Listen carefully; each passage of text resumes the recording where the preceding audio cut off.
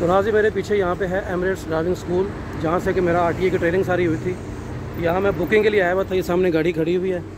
तो बुकिंग थी यहाँ पे। बुकिंग के लिए मैं आया हुआ था यहाँ पे ये दो इंडियन नौजवान मिले हैं जहाँ पे हेलो जो लाइसेंस के आए हुए हैं और ये मेरे इंडिया से सब्सक्राइबर इंडिया से वीडियोस देखते आ रहे हैं। बाकी आप अपने मेरे खुद बताइए जरा से। हम सर का वीडियो नाम नाम नाम। मेरा नाम अरशद इमाम है और मैं इंडिया से रहने वाला हूँ बिहार से बिलोंग करता हूँ। और मैं सर का वीडियो बहुत काफ़ी टाइम से मैं फॉलो कर रहा हूँ इंडिया से। ताकि वो पीछे नज़र आए। और इंडिया से ही मैं काफ़ी टाइम से वीडियो फॉलो कर रहा हूँ सर का और अभी मेरे को नज़र पड़ गई सर के ऊपर।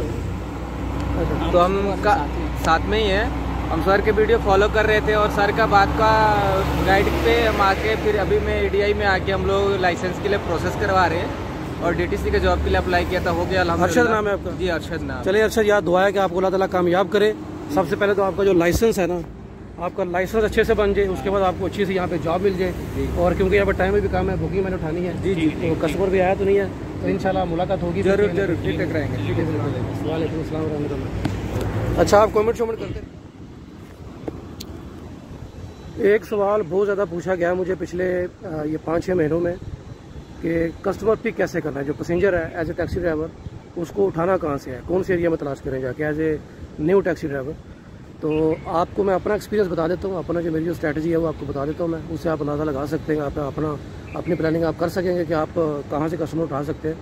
लेकिन मेरा तरीकाकार ये है कि मैं, क्योंकि यहाँ पर सतवा में रहता हूँ, ये देखें, ये पीछे ये जो विले नज़र आ रहे हैं, यहाँ पे अंदर विला नंबर सोलह वहाँ पे रहता हूँ मैं। और ये साथ में बिल्डिंग्स बनी हुई है, सारी की सारी न्यू सतवा के एरिया ये वाला। ये फ्लैगशिप वन बिल्डिंग है, इसी तरह आगे सामने ये ब्रूज बिल्डिंग है, और बहुत सारी बिल्डिंग्स हैं। तो मैं शुरू करता हूँ आगाज़ अपना सुबह करता हूँ यहाँ से। ये जितनी बिल्डिंग आप देख सकते हैं, गाड़ी के सामने खड़ी हुई है। तो यहाँ से मैं आगाज़ करता हूँ। क्रीम डिवाइस में ऑन कर लेता हूँ और यहाँ पे कम अज़ कम 10 से 15 मिनट जो है, वो मैंने यहाँ पे राउंड मारना होता है। और उस दौरान मोस्टली आप समझ लें कि तकरीबन दस बार दस दिन में से तकरीबन आठ दिन मैसेज आ जाता है। तो सबसे पहले मैं यहाँ पर राउंड मारता हूँ, बाकी आपको बताता हूँ मैं कि इसके अलावा मेरी क्या स्ट्रेटजी होती है।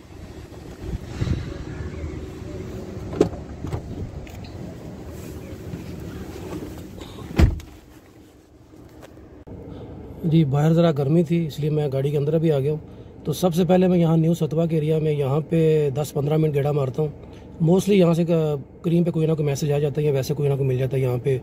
एमरेट्स एयरलाइन के यहाँ पे केबल क्रू काफ़ी सारे रहते हैं, इसके अलावा और बहुत सारे किसी एयरपोर्ट जाना होता है या मरीना की तरफ़ जाना होता है, कोई ना कोई कस्टमर मिल ही जाता है।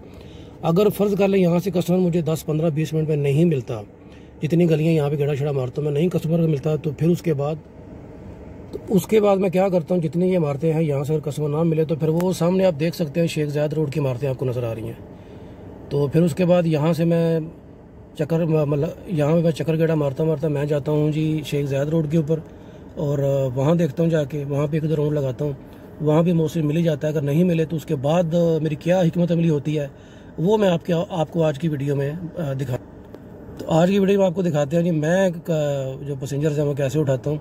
अच्छा कुछ लोग कस्टमर कहते हैं, कुछ लोग पैसेंजर कहते हैं, लेकिन यहाँ पे क्योंकि आरटीए के लिए लोग कस्टमर होते हैं, इसलिए हमें कस्टमर का लफ्ज़ ही दिया गया है तो हम उसी को फॉलो करेंगे। बाकी सवारी पैसेंजर मुसाफिर, आप, यात्री, जो भी कह लें, अपनी अपनी ज़बानों में वो चलता है इस तरह से। बाकी ये कि यहाँ पे यू आई में एज ए टैक्सी ड्राइवर ये कस्टमर का वर्ड ही यूज़ होता है ये।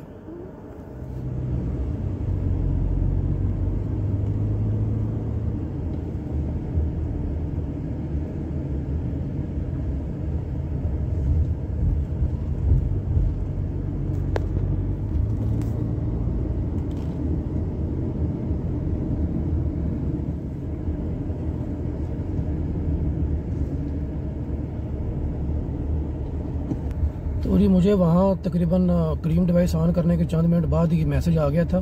तो कस्टमर मैंने उतारा है यहाँ पे ट्रेड सेंटर के एरिया में, जो कि शेख ज़्यादा रोड के दूसरी तरफ़ है। तो क्योंकि ज़्यादा दूर नहीं था, ये सामने आपको वर्ल्ड ट्रेड सेंटर का या ट्रेड सेंटर का एरिया नज़र आ रहा है। तो क्योंकि ये दफ्तरी इलाका है, यहाँ पर रेजिडेंस एरिया कम है तो यहाँ पर लोग दूसरे इलाकों से सिर्फ़ आते हैं ज़्यादातर सुबह के टाइम तो इस टाइम यहाँ से कस्टमर ऐसा खास को नहीं मिलेगा, इसलिए मैं ज़्यादा टाइम यहाँ पर वेस्ट नहीं करूँगा और वापस मैं वापस न्यू सतवा की तरफ़ चलता हूँ क्योंकि नज़दीक ही यहाँ से। वहाँ पे जाकर चक्कर गड़ा लगाते हैं दस मिनट और, उसके बाद शेख जैद रोड, नहीं तो फिर दूसरा एरिया देखेंगे फिर। ये सामने म्यूज़ियम ऑफ़ फ्यूचर आपको नज़र आ रहा है, और इसके साथ ही नीचे एक अंडर पास है ये। जेर ज़मीन रास्ता है, यहाँ से मैं जाऊँगा। ये सामने शेख जैद रोड है, और शेख जैद रोड के सामने उस पार वहाँ पे है न्यू सतवा सतवा का एरिया। और जहाँ पे इस वक्त मैं हूँ, ये शेख ज़ायर की दूसरी तरफ़ थी। मेट्रो ट्रेन भी सामने आपको जाती नज़र आ रही क्या खूबसूरत मंजर है। अंडर पास से निकलने के बाद शेख ज़ायद रोड का मंजर कुछ ऐसा नज़र आता है यहाँ से। तो नाजिन ये है वैसे माल अलकूज़ शेख ज़ायद रोड के ऊपर। तो यहाँ पे मैंने एक कस्टमर को यहाँ पे ड्रॉप किया, लेकिन ये मेरा तीसरा कस्टमर था। जब मैं ट्रेड सेंटर के एरिया से वापस सतवा के एरिया की तरफ़ आ रहा था तो शेख ज़ायद रोड पे मुझे मैसेज आ गया था करीम पे। तो कस्टमर के पास पहुँचने में लगे मुझे तकरीबन नौ मिनट और दो तीन मिनट में वो आया। तो बारह तेरह मिनट में मैंने कस्टमर को उठाया और वो आप हैरान हो गए कि वो कस्टमर जो था, वो वहीं पे वहीं पे उसने एक किलोमीटर के फासले पे जाना था और बारह से तेरह मिनट लगे मुझे उसको पिक करने में, वो ड्राप करने में सिर्फ़ दो मिनट लगे। क्योंकि गर्मी का मौसम था, वो चलना नहीं चाह रहा था, इसलिए मैंने उसको बता रहा चले ऐसा होता है कभी कभी ऐसा भी हो जाता है। और उसको ड्राप करने के बाद मुझे एक और मैसेज आया और वो जो कस्टमर था, उसको मैंने यहाँ पे वैसे सामान उतारा है। अब यहाँ से मुझे, एक तो यह है कि के अंदर भी कुछ एरियाज़ है जहाँ पे जा सकता हूँ मैं।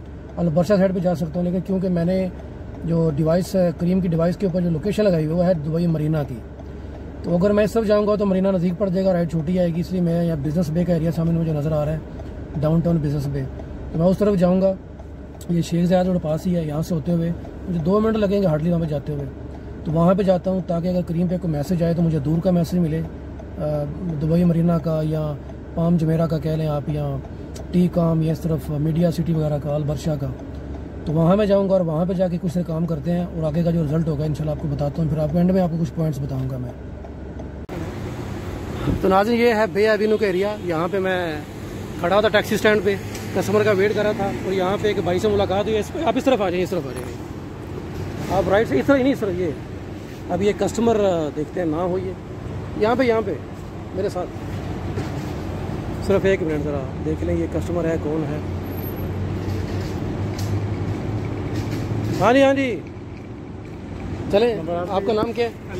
अरे यार उस तरफ़ तो मेरे साथ हैं जी अली शाम। इन्होंने मुझे बड़े अच्छे मशवरे दिए हैं। वो क्या मशवरे दिए हैं आपको बाद में बताऊँगा इंशाल्लाह मैं। इनसे मुलाकात हुई है और बाकी मैं डिटेल से बताऊँगा अभी कस्टमर मेरा आ रहा है तो उसको ले रिसीव करके मैं जा रहा हूँ। बहुत शुक्रिया। आप मिलकर बड़ा अच्छा लगा बाकी आपकी जो मशवरे दिए हैं उनको मैं फॉलो करूँगा इन तो नाजरीन मैं कई कस्टमर्स डील करने के बाद यहाँ पे शारजा पहुँच चुका हूँ। लास्ट कस्टमर मैंने उठाया था गुरहूद से। बिज़नेस बे से मुझे कस्टमर मिला था, बल्कि तीन चार थे, वो टूरिस्ट थे, वो उनको मैंने उतारा। टर्मिनल थ्री पे, Dubai international airport terminal three पे। और वहाँ से गरहूद के एरिया से मुझे कस्टमर मिला जो कि यहाँ पे शारजा में है, मवेला के एरिया में। तो अभी यहाँ मवेला के एरिया में हूँ मैं। अभी वहाँ से दुबई वापस चलते हैं, किसी जगह जहाँ पे खड़े होके, वहाँ पे आप कुछ और पॉइंट्स बता के तो वीडियो को ख़त्म करते हैं, इंशाल्लाह।